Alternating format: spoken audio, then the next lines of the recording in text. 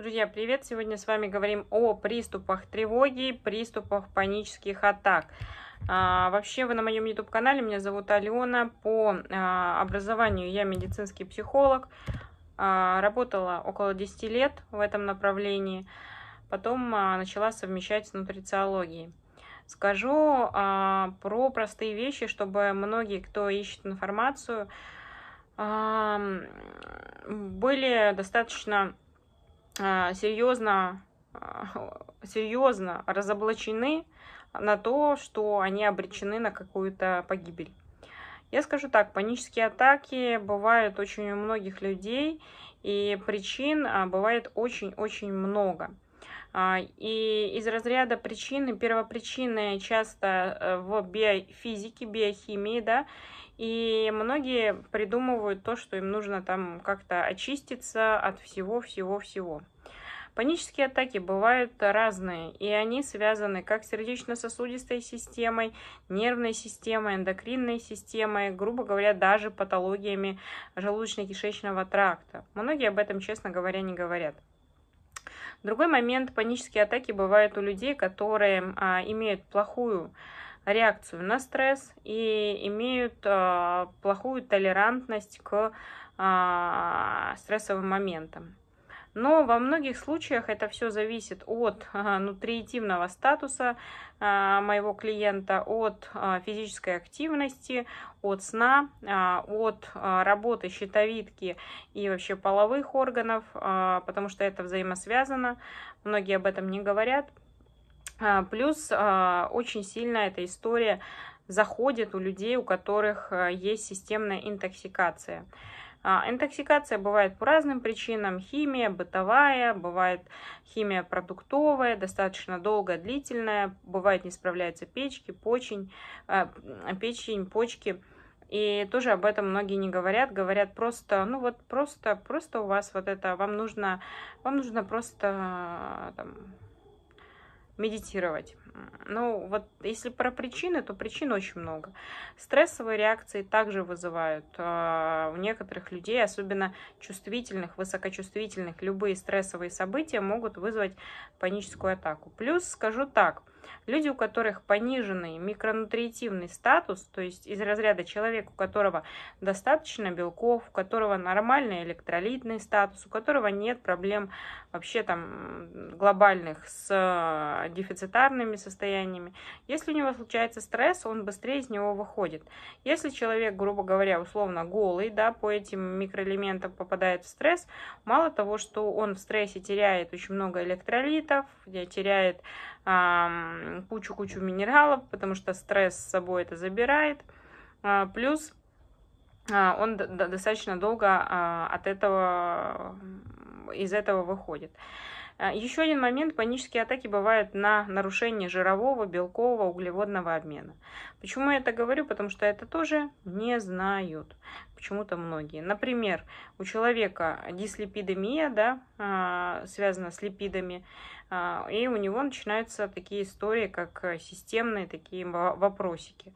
И он их решает через какую-то бабку-гадалку, тетушку, которая ему там отмаливает что-то. Зафига, зафига козе баян, если можно просто решить этот вопрос через эндокринолога, нутрициолога.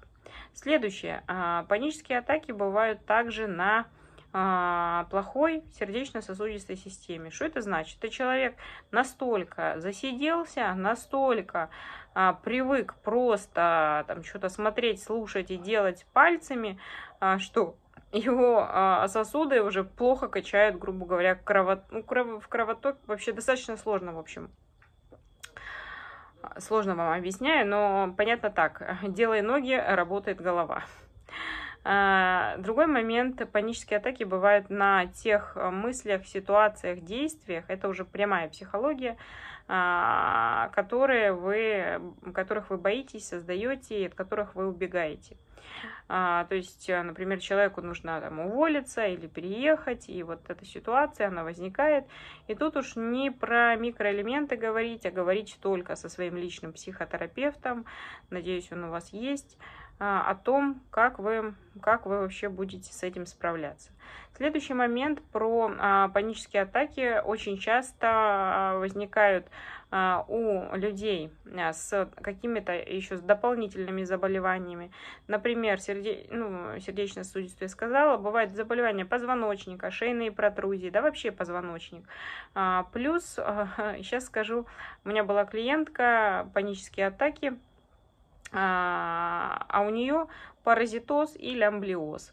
Представляете, никто, никто так долго а, не, ну, в общем, такая интересная история вышла, что поработав странный опять этот вопрос с кислотностью, желчным и с другими вещами, как куда-то панические атаки делись.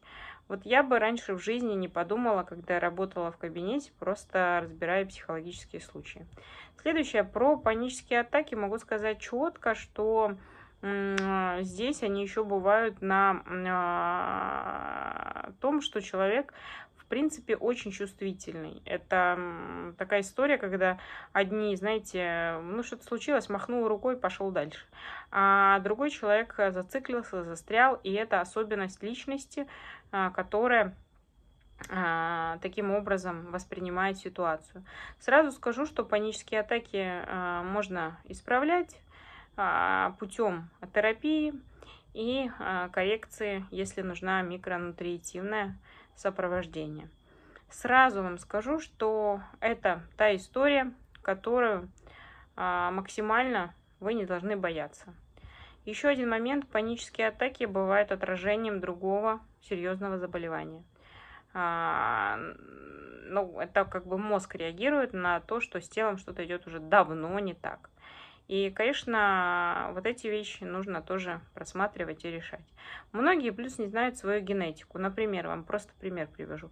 Девушка с нарушением фолатного цикла, а, с нарушением а, усвоения витамина D, а, с там, системным частым, в общем, с частой историей гипер, гипергаммацистонурии, ну, в общем, гомоцистеин повышен, приходит к психотерапевту с паническими атаками. А, а та и начинает, давай отпустим твою маму, давай отпустим твоего папу. А никто не смотрел на то, на что она ест, что она пьет, какие антиоксиданты она там принимает, там ни витамина С, ни куркумина, ни, ни кайнезима, ничего. В общем, а, и что хочется сказать? И хочется сказать, что а, вот такие вещи, они достаточно странненько могут проходить, если человек, к которому вы обращаетесь, не понимает многих вещей.